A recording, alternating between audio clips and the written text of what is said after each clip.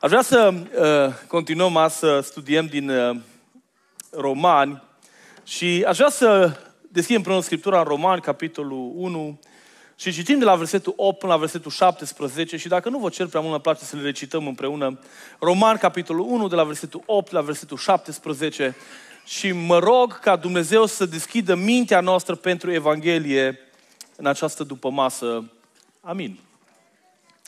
Și haideți să zicem împreună Romani, capitolul 1, versetul 8 la 17, zicem cu toții, mai întâi mulțumesc Dumnezeului meu prin Isus Hristos pentru voi toți, căci credința voastră este vestită în toată lumea. Dumnezeu, căruia îi slujesc în Duhul meu, în Evanghelia Fiului Său, îmi este martor că vă pomenesc neîncetat în rugăciunile mele și cer totdeauna ca prin voia lui Dumnezeu să am în sfârșit fericirea să vin la voi, că-și doresc să vă văd ca să vă dau vreun dar duhovnicesc pentru întărirea voastră, sau mai degrabă ca să ne îmbărbătăm la oaltă în mijlocul vostru, prin credința pe care o avem împreună, și voi și eu. Nu vreau să nu știți, fraților, că de multe ori am avut de gând să vin la voi ca să culeg vreun rod printre voi, ca printre celelalte neamuri, dar am fost împiedicat până acum. Eu sunt dator și grecilor, și barbarilor, și celor învățați, și celor neînvățați, astfel în ce mă privește pe mine, am o vie dorință să vestesc Evanghelia vouă, celor din Roma, căci mie nu mi-e rușine de Evanghelia lui Hristos, fiindcă ea este puterea lui Dumnezeu pentru mântuirea fiecăruia care crede, întâi a iudeului, apoi a grecului, deoarece în ea este descoperit o neprihănire pe care o dă Dumnezeu prin credință și care duce în credință, după cum este scris, cel neprihănit va trăi prin credință. Amin. Unul din cele mai comune sau una din cele mai comune apucături ale vremurilor noastre este pasarea responsabilității. nu trebuie doar să ai legătură cu puțin din NHS ca să-ți dai seama cum ești pasat ca o minge de ping-pong. Ești trimis în stânga și în dreapta, stânga și în dreapta. Și în, în, în foarte multe domenii, oamenii pasează responsabilități. E așa de simplu să zici, it's not my job. Altul. Da? Și până îl găsești pe ăla, de fapt, care e jobul lui să facă treaba asta, durează foarte mult. Da? Pasarea responsabilității către alții este cel mai simplu mod de a rezolva o situație. Ori de câte ori te cu o problemă, cel mai simplu mod de a o rezolva este să zici, îmi pare rău, dar nu e responsabilitatea mea. Asta e cel mai ușor lucru de a rezolva. Și ăsta e modul cel mai clasic în care cei mai mulți dintre noi rezolvăm problemele. Când apare câte o problemă, îmi pare rău, nu e responsabilitatea mea și mă duc mai departe. Acest obicei vorbește despre o realitate care este mult mai gravă în spate. Și anume că oamenii în majoritatea lor, fie nu știu să rezolve, și asta e o problemă, fie sunt indiferenți față de nevoile altora, care de cele mai multe ori se naște din egoism. Da? Deci când oamenii pasează responsabilități, se întâmplă de două motive. Fie nu știu să rezolve, fie sunt indiferenți pentru că sunt egoiști. Pentru că nu sunt interesați decât de propriile nevoi, de propriile lucruri, de propriul confort. Da? Și când întâlnești câteodată un om care decât să se ridice din fotoliu să deschidă ușa, preferă să te lase să bați până uiți de cine. Da? Ați întâlnit oameni din ăștia? Care pur și simplu nu e dispus să renunțe la nimic din propriul confort ca să-ți creeze o oportunitate. În niciun fel. Și când te întâlnești cu situația asta, câteodată îți vine să reacționezi, da? Dar din păcate, foarte mulți oameni care pasează responsabilitățile foarte ușor, nu pentru că nu știu să le rezolve, ci pentru că sunt prea comozi ca să o facă, pentru că sunt egoiști. Da? De ce să-mi bat capul să te ajut când pot să stau bine, mersi? Nu? De ce să mă, mă chinui să-ți rezolv situația când pot să stau liniștit să fac, să mă relaxez? Sau aud așa de des expresia, de ce să-mi complic viața? De ce să-mi complic viața? De ce să las așa, uite, o, o linie dreaptă? Iar acest egoism despre care vorbim este marca oamenilor imaturi. Semnul cel mai clar al imaturității este egocentrismul. Și îl vedem la copii. Copiii sunt egoiști. Da? el când intri cu el în magazin să leagă și să bate de ceasul morții cu jucăria în mână, nu interesat câți bani ai tu în buzunar, îl doar exact în cot. Dacă tu ai sau nu ai bani. Da? Nu interesează. Pentru propria bucurie, pentru propriul confort, pentru propria plăcere, e dispus să-ți sacrifice pe cine, pe nevastă ta, bugetul familiei voastre. N-are niciun, niciun, niciun gând, nu-l interesează. Și cel mai dulce mod în care suntem folosiți de copiii noștri. Ei ne folosesc cel mai aspru și totuși ne produce o plăcere uimitoare de fiecare dată când știm că ne folosesc, dar cu toate astea uh, trecem până acest drum. Să știți că egoismul sau egocentrismul este marca imaturității. Primul semn că un om s-a maturizat este disponibilitatea la a-și asuma responsabilități pentru alții. De aceea care aveți un partener care nu-și asumă responsabilității pentru că e imatur. Primul semn al maturității, și mai ales în cazul bărbaților, este momentul în care el începe să zică în multe domenii din viață, uh, uh, mi-asum și eu asta. O e și prost. Cine de vină? Eu de vină. Să știți că la care de obicei își asumă ăla e semnul maturității. Asumarea responsabilității este semnul maturității. Vă spuneam în deschiderea acestui an bisericesc că unul din scopurile catehizării sau așezării clare în fundamentul adevărului este și maturizarea. Pavel zice foarte clar în Efeseni, ca să ajungeți la statura plinătății, la starea de om mare, la maturitate. Și maturitatea spirituală înseamnă asumarea responsabilității pentru ceilalți. Și în textul de azi ni se descoperă modul în care credința în Evanghelie aduce în viața noastră maturitate spirituală care mă face responsabil pentru alții. Uitați-vă împreună cu mine încă o dată în Roman, capitolul 1, versetul 8 la 13. Și hai să mai citim o dată și mai aruncați o dată privirea peste el. Fiți, fiți ce spune Pavel. Mai întâi mulțumesc Dumnezeului meu pentru Isus, prin Isus Hristos pentru voi, căci credința voastră este vestită în toată lumea. Dumnezeu căruia îi slujesc în Duhul meu, în Evanghelia Fiului Său, îmi este martor că vă pomenesc neîncetat în rugăciunile mele. Asta nu un lucru puțin. Și cer totdeauna ca prin voia lui Dumnezeu să am în sfârșit fericirea să vin la voi. Că își doresc să vă văd ca să vă dau vreun dar duhovnicesc pentru întărirea voastră sau mai degrabă ca să ne îmbărbătăm la oaltă în mijlocul vostru prin credința pe care o avem împreună și voi și eu. Nu vreau să nu știți, fraților, că de multe ori am avut de gând să vin la voi ca să culeg vreun rod printre voi, ca printre celelalte neamuri, dar am fost împiedicat până acum. Vreau să vă mai pun o altă întrebare.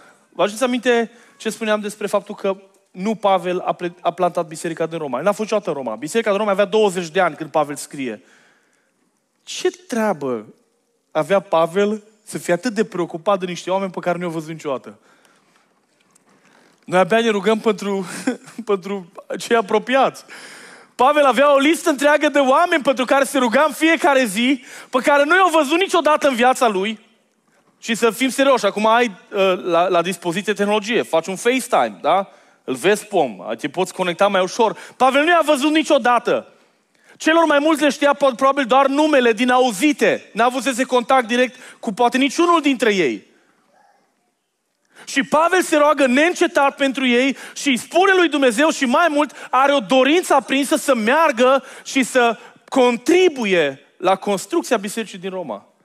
Să fiu parte la zidirea, la a vin, vreau să vă dau câte un dar duhovnicesc. Dar duhovnicesc nu este același cu harismata. Pavel nu poate da darul profeției, da? Dar duhovnicesc pe care vorbește Pavel este acest dar al învățăturii prin care contribuie la zidirea bisericii. Ce-l animă pe Pavel? De ce e Pavel responsabil de cei din Roma? Și de ce? Pentru că e matur. Și orice credincios matur primește responsabilitate pe ceilalți. De ce era responsabil Pavel de un loc în care nu ajunsese niciodată? Și primul lucru care vreau să învățăm astăzi este că Evanghelia, spuneam că vom discuta mult despre Evanghelie, Evanghelia este datorie față de lume. Vreau să vă mai întreb dacă vă aduceți aminte modul în care am încheiat uh, anul, uh, predica de data trecută din Romani, capitolul 1. Vă aduceți aminte despre Evanghelia lui Dumnezeu? Da? Mai putem oare repeta? Hai să văd dacă ai cumva, uh, Marius, uh, această afirmație pe care o făcusem atunci. Dar o putem lua și din Biblie, dacă nu uitați-vă în Roman, capitolul 1, și spuneam că Evanghelia lui Dumnezeu, da? Este Evanghelia, nu asta, asta e la final. Evanghelia lui Dumnezeu, da? Din Sfintele Scripturi, sau bazate pe Sfintele Scripturi, despre Hristos, pentru toate neamurile, ca să ducă la ascultarea credinței, da? Pentru numele Lui. Asta e Evanghelia. Evanghelia este a lui Dumnezeu, e despre Isus Hristos, bazată pe Vechiul Testament, pentru toate neamurile, da? Ca să aducă la ascultarea credinței pentru gloria numelui lui Isus Hristos. Asta e Evanghelia. Și Pavel zice că Evanghelia aceasta, odată ce ai înțeles-o, ea te așează într-o poziție de responsabilitate. Și uitați ce versetul 14 și 15, să le citim împreună.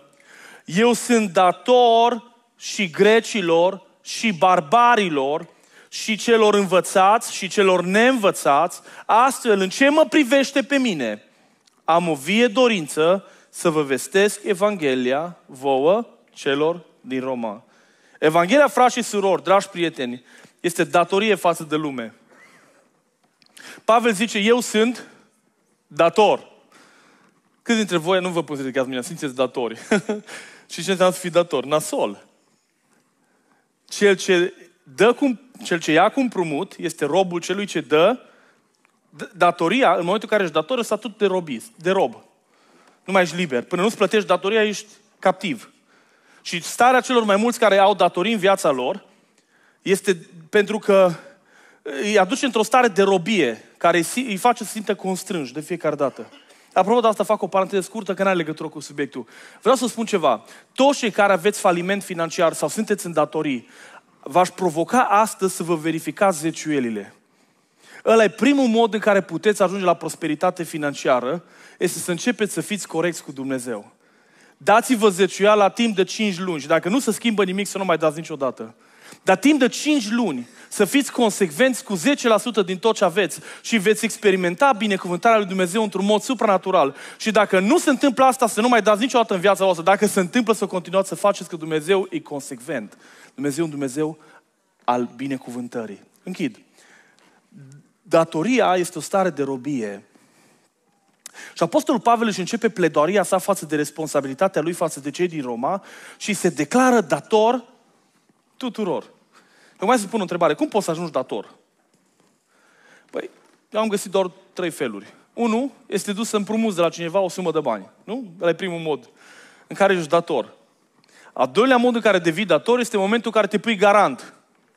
Da? Zici lucrutare, împrumută-i la prietenul meu o mie de lire și eu îți voi restitui în caz în care el nu îi restituie. Din momentul în care tu ți-ai pus garant, tu ești dator să restitui suma de bani în caz în care acel om nu mai restituie. Da?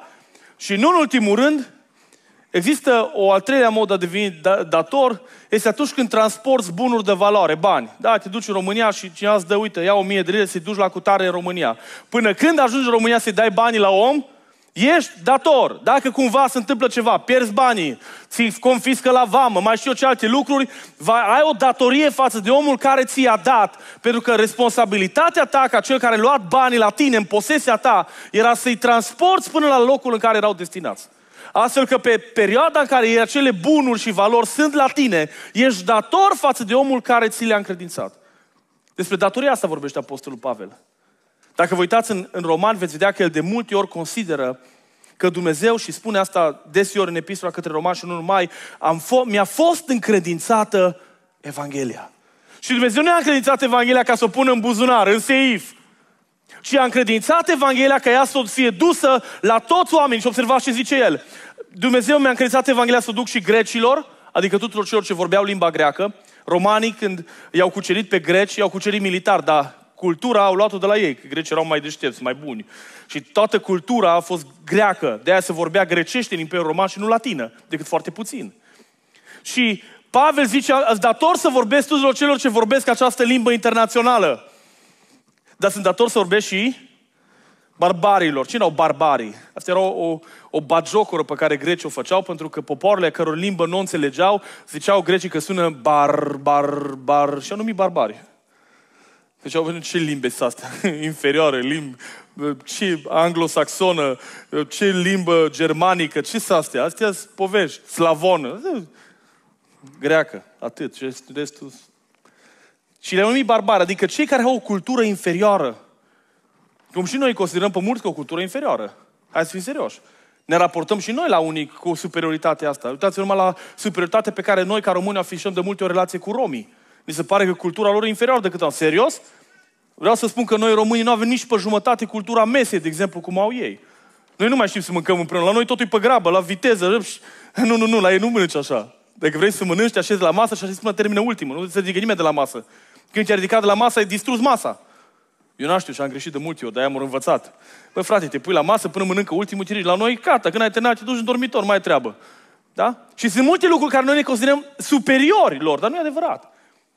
Dar Pavel zice, eu sunt dator să predic și celor care se consideră superiori și celor ce se, sunt considerați inferiori și celor ce au educație și celor ce n-au educație, adică tuturor.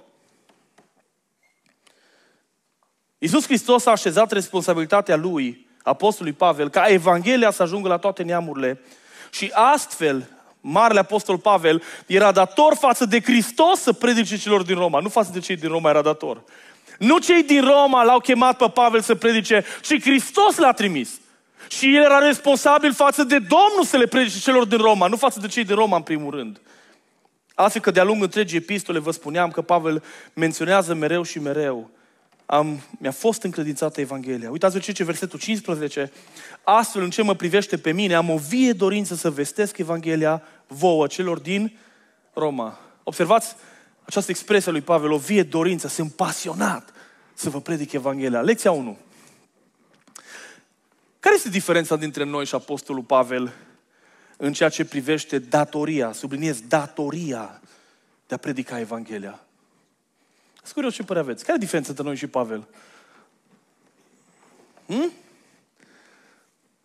Există vreo diferență? El mai responsabil decât suntem noi? Suntem noi mai puțin responsabili sau mai mult responsabili decât el? Ce părere aveți? Hai să vorbim că nu la biserică, nu la parlament. Cum vi se pare? E el mai responsabil decât noi? Hai să uităm spre o scriptură. Uitați-vă în Matei, capitolul 28, versetul 18 la 20. Iisus s-a apropiat de ei, a vorbit cu ei și le-a zis, toată puterea mi-a fost dată în cer și pe pământ, duceți-vă și faceți ucenici din toate neamurile, botezându-i numele Tatălui, al Fiului și al Sfântului Duh și învățați să păzească tot ce v-am poruncit și iată că eu sunt cu voi în toate zilele până la sfârșitul veacurilor. Dacă ne considerăm ucenici al lui Isus și dacă te consideri ucenic al lui Isus, vreau să spun că ești în același nivel de responsabilitate și sunt în același nivel de responsabilitate ca Apostolul Pavel. Dumnezeu mie și vouă ne-a cerut să predicăm Evanghelia cu aceeași pasiune și cu aceeași dăruire și către aceiași oameni, bineînțeles, probabil nu o să te duci niciodată să fii transfrontalier să predici Evanghelia.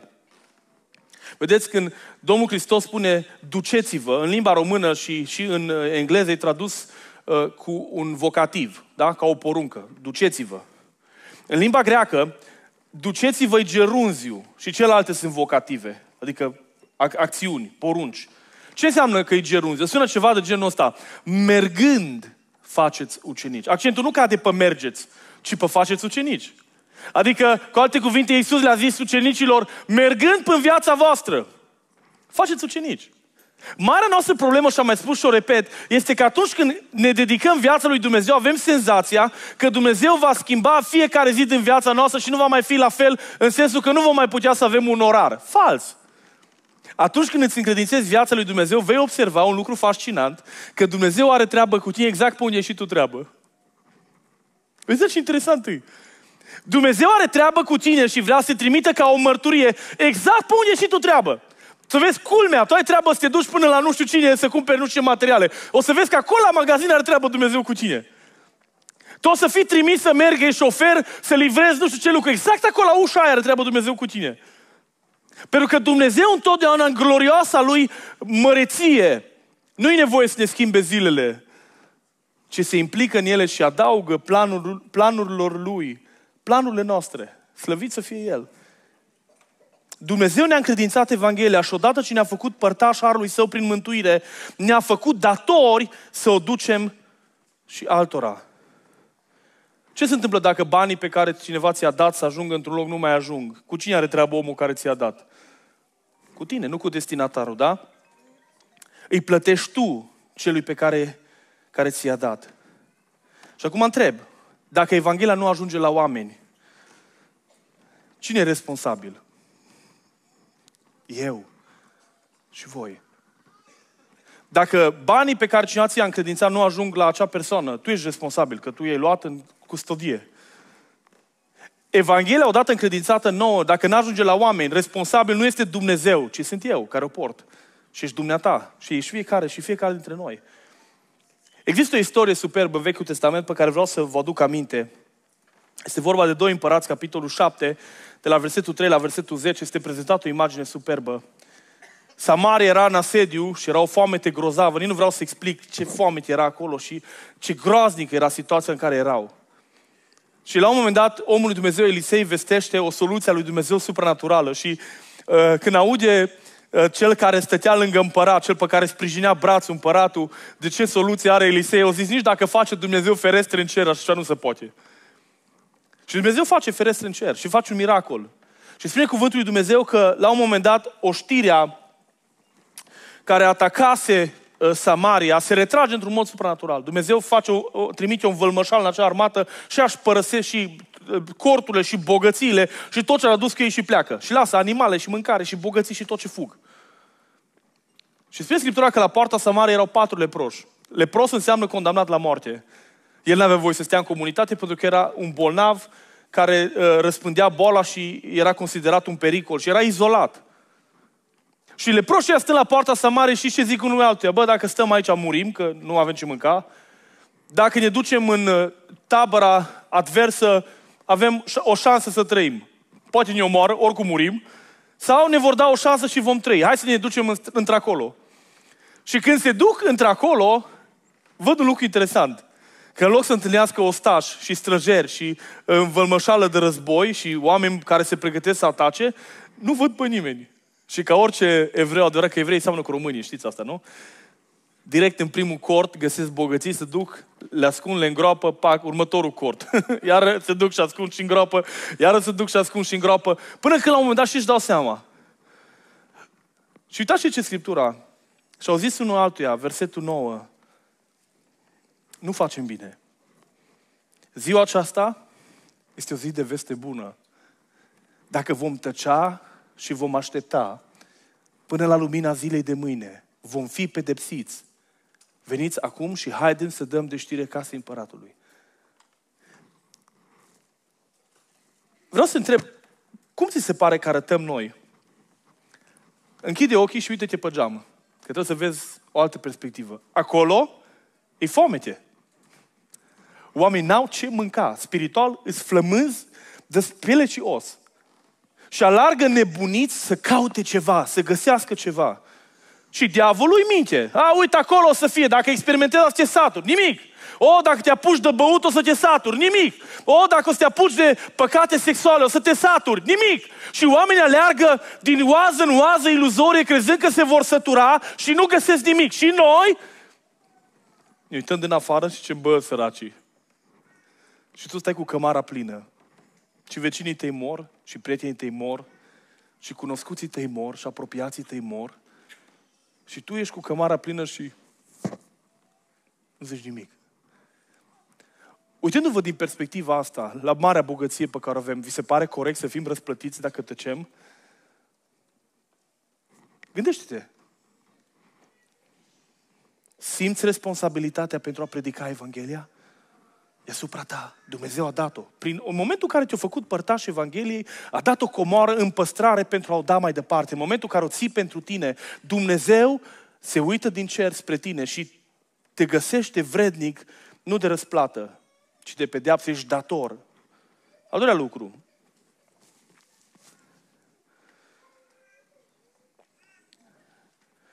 Repet, simți responsabilitatea pentru a predica Evanghelia. Dacă da, predică mai pasionat. Vremea este aproape. Dacă nu, ăsta este un semn clar al imaturității. Din păcate, încă trăiești pentru tine și nu pentru Dumnezeu. Frați și surori, eu cred că marea problemă pe care o avem ca și credincioși atunci când nu predicăm Evanghelia, statisticile spun că doar 3% din oameni predică Evanghelia într-un mod constant din biserică. 3%. Asta înseamnă că din 103, cam puțin, nu? De ce nu predicăm Evanghelia? Pentru că suntem imaturi și pentru că trăim pentru noi. Pentru că avem senzația că Dumnezeu ne-a mântuit pentru noi. În momentul în care te maturizezi spiritual, Dumnezeu îți dă din ce în ce mai multă responsabilitate. Aduc, să-ți aminte, când Petru îl reabilitează, când Isus îl reabilitează pe Petru, și ce e primul lucru care îi dă? Îl întreabă, Petre, mă iubești? Da. Ia oile. Petre, mă iubești? Da. Ia oițele. Petre, mă iubești? Da. Ia miușei și ocupă-te de ei. Frați și surori, dacă îl iubim pe Dumnezeu, Dumnezeu ne încredințează întotdeauna pe alții. Dacă îl iubim pe Dumnezeu și pe noi nu stă nimeni, la noi nu e nimeni în brațe, atunci avem un semn clar al imaturității. Înseamnă că încă suntem imaturi. Ia decizii noi astăzi. Dacă ești încă trăiești ca un creștin imatur, egoist, care trăiești pentru tine și nu pentru Dumnezeu. Iubiții mei, sunt mulți oameni care trăiesc înaintea lui Dumnezeu, dar pentru ei, nu pentru Dumnezeu. Pavel zice foarte clar că un credincios matur nu mai trăiește pentru sine, ci pentru Cel ce a murit și a înviat. Doi. Uitați-vă la versetul 16. Căci mie nu mi-e rușine să, de Evanghelia lui Hristos, fiindcă ea este puterea lui Dumnezeu pentru mântuirea fiecăruia care crede, întâi a iudeului și apoi a grecului. Dacă suntem sinceri cu noi înșine, toți avem o mulțime de momente în care ne este rușine de asocierea noastră cu Evanghelia. da? Mai salut pe eu pace. Paci și eu, paci, da, sigur. Da? Sunt o mulțime de momente în care ne așa de ciudat să ne asociem acestui grup numit biserică. Nu ți se pare? De momente în care parcă nu vrei să știe nimeni că ești de aici. Și avem toți sentimentul ăsta câteodată. Un, un, un, unul din momentele care, uh, sau uneori se datorează această sensibilitate a noastră, ca să nu-i spun altfel, uh, uh, fraților. Când îl vezi și pe ăla, nu vrei să zici nimeni că ești frate cu el. Da? Câteodată și asta e adevărul. Câteodată din cauza fraților vine să te separe un pic. Dar de cele mai multe ori suntem tentați să ne fie rușine de Evanghelie și să ne rușinăm de Evanghelie atunci când avem de-a face cu lumea. Pentru că mesajul pe care noi îl avem este contrar filozofiei lumii și ne așează întotdeauna într-o poziție, în, într-o situație de opoziție. Toți cred la fel, numai tu nu crezi așa. Toți sunt de acord, numai tu nu ești de acord. Toată lumea zice că e bine, numai tu zici că e strâmb. Și ai momentul ăsta în care Evanghelia te așează într-o poziție complet uh, separată. Tu ești opozantul tuturor. Toți zic, mă, ce ne bucurăm că ăștia, numai ce uh, uh, ori divorțat și unul și altul și au lăsat nevestele cu prunși și sunt împreună. Toată lumea zice, să fiți fericiți. Mă, serios? Toți colegii zic să fiți, tu zici, bă, nu sunt de acord. Și mesajul Evangheliei ne așează într-o poziție izolată de multe ori. Și asta ne creează un sentiment nasol, pentru că, nu știu dacă știați, 80% din energia pe care o folosește creierul nostru în fiecare zi, o folosește pentru adaptarea la grup. Să fiu și eu văzut între ceilalți, să mă vadă și ceilalți oameni că sunt absolut normal. Și când ești legat de Evanghelie, dintr-o dată devii singurul ciudat care se opune tuturor, vei vedea un lucru interesant, că în lume toate celelalte religii au poziții convergente cu lumea. În timp ce Evanghelia n-are nimic cu lumea. Vei vedea că religia musulmană, hindusă, bahai, care vreți voi, are atâtea puncti, puncti comune cu lumea. În timp ce creștinismul este radical în afară. Pentru că tot ceea ce zic ei că e bine, noi zicem că e rău. Tot ceea ce ei numesc extraordinar, noi numim fără valoare. Când Pavel spune nu mi-e rușine de Evanghelia lui Hristos, el de fapt face un gest retoric care are sens invers. Cu alte cuvinte, mă laud cu Evanghelia lui Isus Hristos. Nu când spui unui om, nu e amuzant. De fapt, spui, văd că nervos. Nu-mi place deloc ce ai făcut. Nu? E o, o, o figură retorică, un, un, un mod de a spune lucrurile ca să transmiți exact mesajul opus. Lecția 2. Cum pot depăși ispita de a mă rușina de Evanghelie? Cum pot să depășesc această ispită de a nu mai, să, să nu mai să-mi fie rușine de Evanghelie? Și aici vreau să vă propun două, două lucruri. În primul rând vreau să vă provoc să priviți lumea din perspectiva corectă. Și ce spune Pavel? Mie nu mi-e rușine de Evanghelia lui Dumnezeu, fiindcă ea este puterea lui Dumnezeu pentru salvare. Nu o să înțelegi niciodată cu adevărat perspectiva în care trebuie să predici Evanghelia până nu ai perspectiva lui Dumnezeu despre lume. Lumea, toți oamenii din jurul nostru nu sunt băieți buni și oameni buni, ci morți în păcat. Sunt oameni care au nevoie de salvare. Sunt oameni care au nevoie de mântuire. Fără Evanghelie, ei nu au nici o șansă. Fără Evanghelie, ei nu au nicio șansă de a se salva și de a-L cunoaște pe Hristos într-un mod mântuitor. Spun asta și repet astăzi. Cei care nu-L cunosc pe Hristos dintre prietenii și apropiații noștri, și dacă nu se împacă cu El, cunoscându-L prin Evanghelie, în maxim 80 de ani, vor fi în iad. Cei mai apropiați ai tăi, care au acum 20 de ani, dacă nu-L întâlnesc pe Hristos, dacă nu se împacă cu El prin credință, în maximum 80 de ani vor arde în foc. Pentru totdeauna. Și asta nu e o poveste, asta e realitatea. E o problemă de timp. Nu, de, nu dacă, ci când. Deci, frați și surori, dragi prieteni, datoria noastră de a predica Evanghelia este o datorie ca unui om care intervine pe zmurd. Da? Când ai, te duci și lucrezi la terapie intensivă, acolo n-ai timp de întrebări, n-ai timp să pui, când vezi că la moare, intri direct în proceduri. Da? N-ai timp să-l convingi. Vrei să-ți fac resuscitare, zici. Nu! Îl resuscitezi dacă nu vrea. Dacă vrea să moară, obligația ta de salvator îi să-l salvezi. Datoria noastră de creștini este să administrăm mesajul salvării, indiferent dacă ei vor sau nu vor. Că un om care moare nu știe ce vrea. Și al doilea motiv. Spuneam că dacă privești lumea din perspectiva corectă, dintr-o dată se schimbă statutul celor de care ți rușine. Și dacă ești medic, nu ai voie să lași rușinea să te împiedice să-l salvezi pe un om. Da? Nu, cum să îl dezbrac ca să-l operez de apendicită? Nu te interesează asta.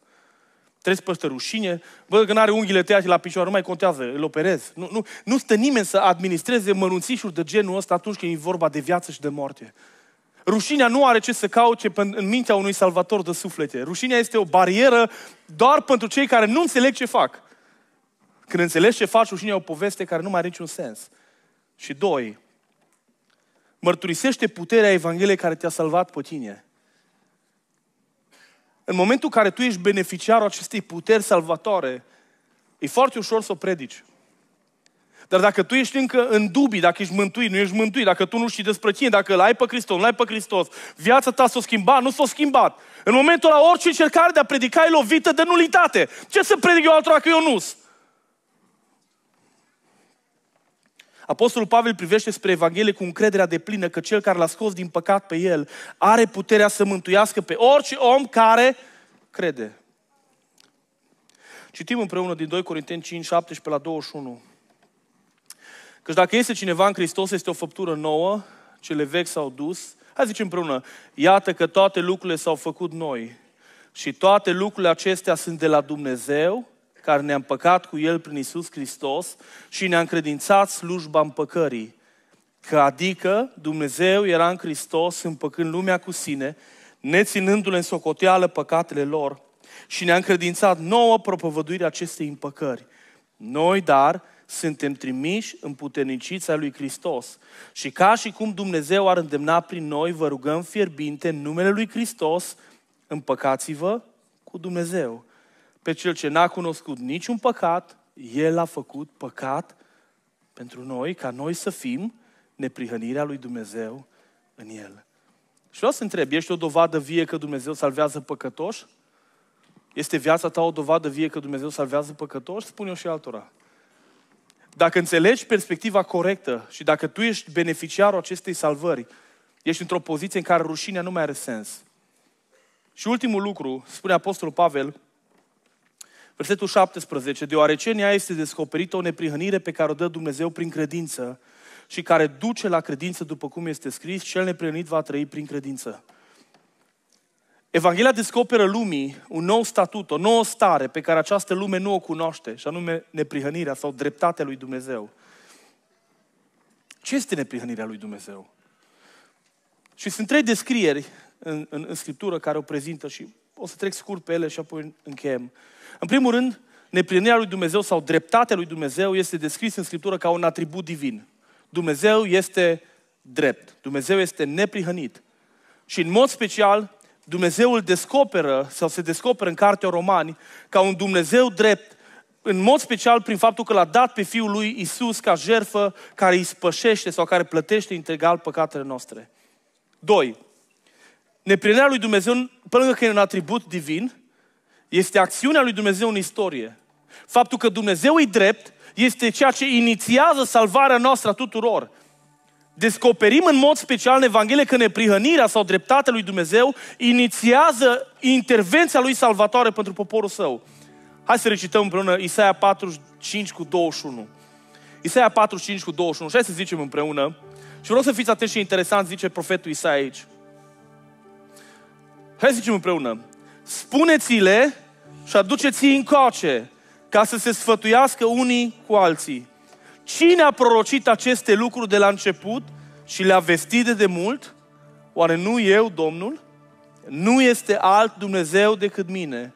Eu sunt singurul Dumnezeu drept și mântuitor. Alt Dumnezeu afară de mine nu este. El este drept și pentru că este drept, este mântuitor. Aleluia! Salvarea este forma pe care o ia neprihănirea lui Dumnezeu. Și nu în ultimul rând, spuneam că salvarea sau neprihănirea este atributul lui Dumnezeu intrinsec. El este neprihănit, este drept. Dreptatea lui îl provoacă la acțiune de a-i salva pe cei păcătoși. Și nu numai atât. Apostolul Pavel ne aduce un concept nou în, în Romani. Și anume că neprihănirea lui Dumnezeu prin ceea ce El a făcut se poate transfera asupra mea. Eu devin neprihănirea lui Dumnezeu în El. Aleluia! Zice Romani, capitolul 3, versetul 21 la 24, citesc. Dar acum s-a arătat o neprihănire pe care o dă Dumnezeu fără lege. Despre ea mărturisesc legea și prorocii și anume neprihănirea dată de Dumnezeu care vine prin credința în Isus Hristos pentru toți și peste toți cei care cred în El. Nu este nicio deosebire că toți au păcu- păcătuit și sunt lipsiți de slava lui Dumnezeu și sunt socotiți neprihăniți fără plată prin harul său, prin răscumpărarea care este în Isus Hristos. Amin. Neprihănirea lui Dumnezeu e un atribut, e o acțiune și un dar care oferă statut. Și a treilea lucru care vreau să-l învățăm astăzi. Înțelegi pe deplin beneficiile descoperirii Evangheliei Evanghelia ne spune cine e Dumnezeu și ce intenții are. Că Dumnezeu nu e un Dumnezeu crud, rău, care abia așteaptă să-ți dea cu parul în cap de fiecare când greșești. Dumnezeu nu e ca că tău măcar ce-o znopit în bătaie până n-ai mai putut pentru orice greșeală mică. Nu, nu Dumnezeu nu arată așa. Mulți dintre oameni îl consideră pe Dumnezeu așa cum au văzut, e o figură paternă greșită, strâmbă în viața lor. Nu, Dumnezeu nu e așa. Dumnezeu e un tată bun, care ne iubește sacrificial. Și în momentul în care înțelegi Evanghelia și înțelegi cine e Dumnezeu și cum e El, și ce interesant, că în locul terorii apare pacea. Că nu-i cineva de care trebuie să fie groază, ci cel pe care îl poți iubi și care de fapt vrea pentru tine restaurare. Și în momentul în care înțelegi Evanghelia, nu mai poți să fii în teroare, nu mai poți trăi în frică. Și apare pacea. În Evanghelie mai descoperi că după ce afli cine e Dumnezeu, vezi ce are și ce intenții are. Și când dragostea Lui ne așteaptă pe toți să ne împăcăm cu El. Și în locul disperării, al neajutorării, și ce apare? Speranța. Orice om care aude Evanghelia trebuie să audă această informație vitală. Există speranță și pentru tine. Indiferent cât ești de grozav în păcat, indiferent cât ești zdrobit și apăsat de trecut, indiferent câte lucruri îți macină mintea în fiecare zi, există speranță și pentru tine. Cel mai groaznic păcătos are speranță la Isus. Și în ultimul rând, când înțelegi Evanghelia, Evanghelia spune ce planuri are Dumnezeu cu tine pentru viitor. Și știți ce dispare? Îngrijorarea. Acum vreau să vă întreb, voi credeți că Dumnezeu o să lasă să moare de foame pe unul pentru care vrea să-ți pregătească cerul întreg? Tu crezi că Dumnezeu o să te uite vreo clipă pe tine cel pentru care pregătește atâta bogăție de slavă? În momentul în care înțelegi Evanghelia și știi ce planuri are Dumnezeu, din ziua aia nu mai cum să te îngrijorezi. Din ziua aia vei fi, în, în, în, în, în, dispare frica de viitor și apare bucuria și siguranța. Orice om care știe ce vrea Dumnezeu cu el, are bucurie. Și eu știu ce vrea Dumnezeu cu mine.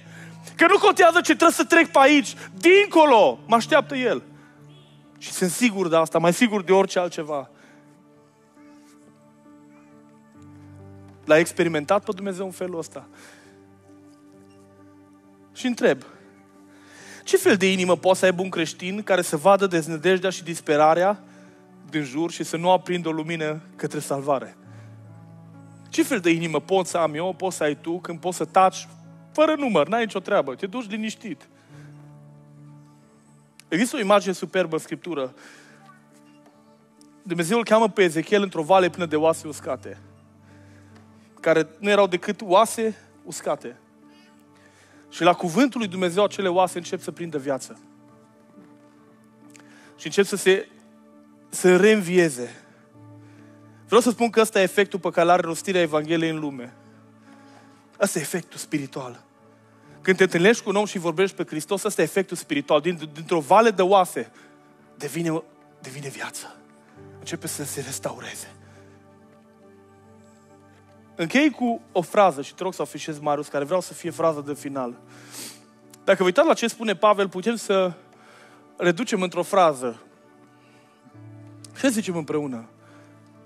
Nu mi-e rușine, sunt dator, am o vie dorință să predic Evanghelia. Hai să mai zicem o dată. Nu mi-e rușine, sunt dator, am o vie, speranță, vie dorință să predic Evanghelia. Hai să mai zicem o dată. Nu mi-e rușine, sunt dator, am o vie dorință să predic Evanghelia. Asta e fraza pe care vreau să o rostim și să ne poziționăm față de Evanghelie în felul ăsta. Aș vrea să o iei cu tine săptămâna asta. Asta e fraza cu care vreau să te duci. Nu mi-e rușine, sunt dator și am o vie dorință să predic Evanghelia. Și dacă nu ești așa, roagă-te după, în dimineața spune, Doamne, transformă inima mea. Hai să ridicăm să ne rugăm. Amin.